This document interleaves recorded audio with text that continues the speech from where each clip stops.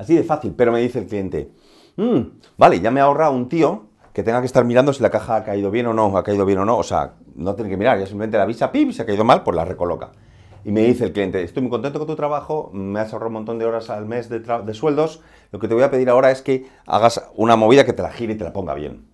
Y dices, no pasa nada, te voy a cobrar 3.000 dólares, pero te, lo- te lo hago enseguida.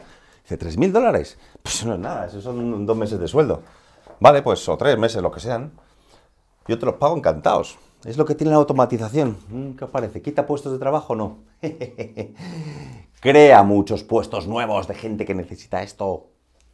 Vale, porque lo fácil, lo fácil es es muy fácilmente automatizable. Si tienes un trabajo que es muy mecánico, va a durar tres telediarios porque van a poner una máquina.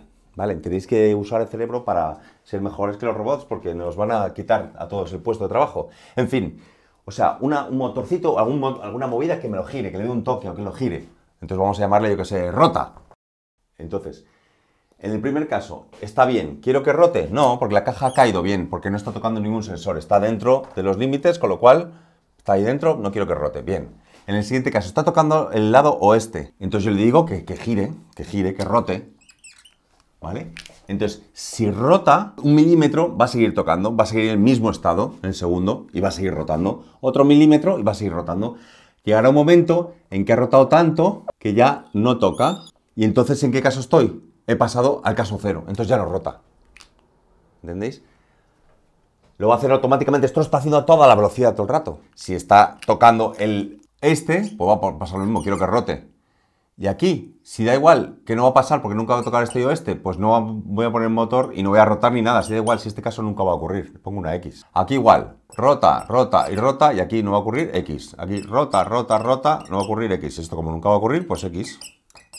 Mirar cómo es el mapa de Carnot. Veréis qué interesante. Lo hago, parece una chorrada, pero lo hago por un motivo muy sencillo. Porque veáis que hay veces, muchísimas veces, que podemos simplificar usando el cerebro, que un ordenador no lo va a hacer esto, pero nosotros sí. Cojo este uno, lo puedo coger en pareja. Ah, mira, lo puedo coger en cuarteto. Ah, no solo en cuarteto, sino en octeto. Este uno lo he cogido con todos estos ochos. ¿Cómo se llama este min término? A ver, eh, tiene en común, el norte y el sur no tienen en común, solo tienen en común que el este oeste, este oeste. Los dos tienen el este y el oeste no. Esto es este. Vale, ¿qué unos me quedan por coger? Este mismo, pues venga, lo cojo. Este lo cojo en pareja, no, en cuarteto, no, en octeto lo puedo coger. Este, ¿cómo se llama? Oeste. Ese globo se llama oeste. A ver, otro uno por coger. Este mismo, pues ya está. Lo cojo en pareja. Ah, no, en cuarteto. Ah, no, que puedo coger en octeto. Uf, fenomenal. ¿Cómo se llama este? Pues en común tienen solamente esta letra, que es el sur. Para hacer bien el amor hay que venir al sur. Y me queda por coger este uno, que lo puedo coger en pareja o en octeto directamente. Este es, ¿cómo se llama? Tienen en común este uno, es el norte. Es decir, este, el circuito rota, es norte más sur más este más oeste.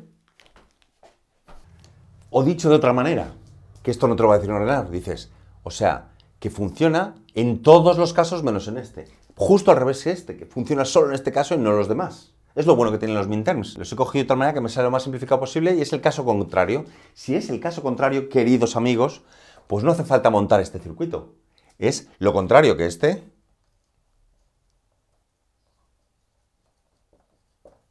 ¿Qué te parece? Una puerta. Este circuito, añadirle al pájaro un circuito que te rote la movida, es solamente un circuito, poner una puerta más. Son 3.000. Esto es muy bonito porque esto es la ley de De Morgan.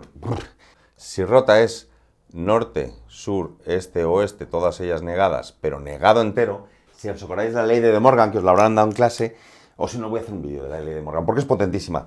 Te dice, si tú, esto es una multiplicación, si rompes aquí, donde la multiplicación, rompes el techo, rompes aquí el techo donde la multiplicación, rompes aquí el techo donde la multiplicación, las multiplicaciones se te convierten en sumas.